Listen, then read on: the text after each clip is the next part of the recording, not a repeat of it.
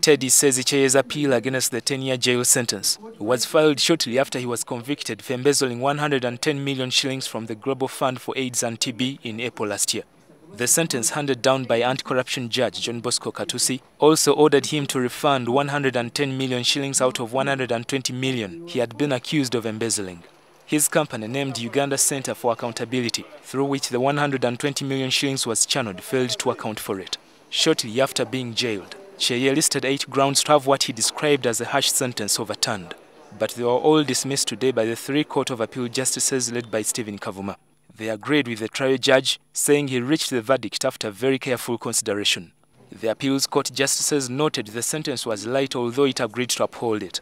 Cheye's lawyer Peter Kabatsi is planning to file an appeal in the Supreme Court as his client goes back to Luzira prison after almost one year on a cash bail of 60 million shillings. It was granted to him by the appeals court in July last year after serving only three months of his 10-year jail term.